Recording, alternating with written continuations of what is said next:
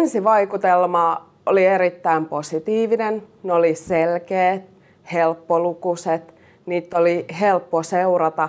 Ja ne osiot, tärkeintä oli, että ne osiot oli tarpeeksi lyhyitä.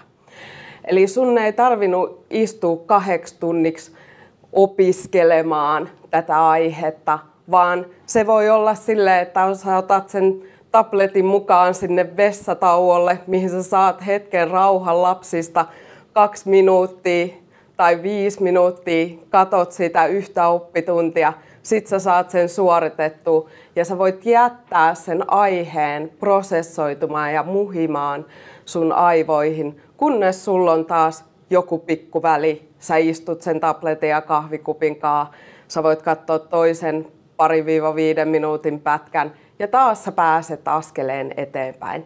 Et se ei ole sellainen valtava kokonaisuus, jonka ääreen sun pitää istua koko ajaksi, vaan se on pilkottu sopivan kokoisiin osiin, jonka sä voit sujuvasti siihen sun kiireiseenkin arkeen ujuttaa.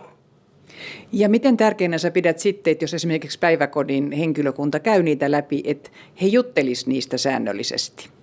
No ehdottomasti olisi tärkeää, että se pysyy muistissa, se pysyy, se prosessointi siellä aivoissa käy.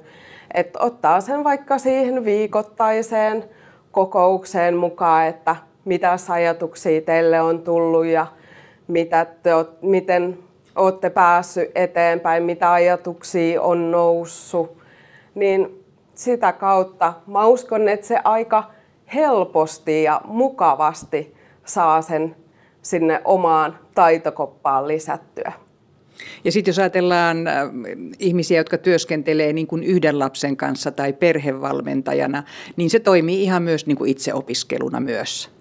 Joo, kyllä ehdottomasti, että ei tarvii sitä, että istuu luennoilla, vaan verkkokurssi on yhtä tehokas.